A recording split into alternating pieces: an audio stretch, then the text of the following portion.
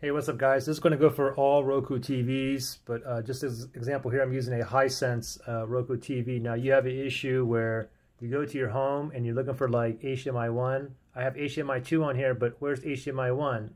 Where's HDMI 3? It's not on here. The reason why it's not on here is because you first need to connect the device to HDMI 1 and HDMI 3. Once you connect it once and then you go ahead and unplug it, it's always going to show up on here. You'll see uh, 1 and 3 or the other way around it, if you want to have the HDMI on here, what you can also do is just simply just go to your home button here, go down to settings, then move over to the right, and then go down to uh, TV inputs right here, then move over to the right. Now you can see down here it says inputs not used, okay? So HDMI 1 ARC and HDMI 3 was never used.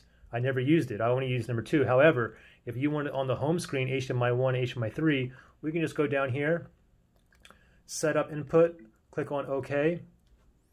All right, that one's done. And then also um, in, uh, inputs not used number three. We'll add number three under two. Move it to the right, set up input, click on OK.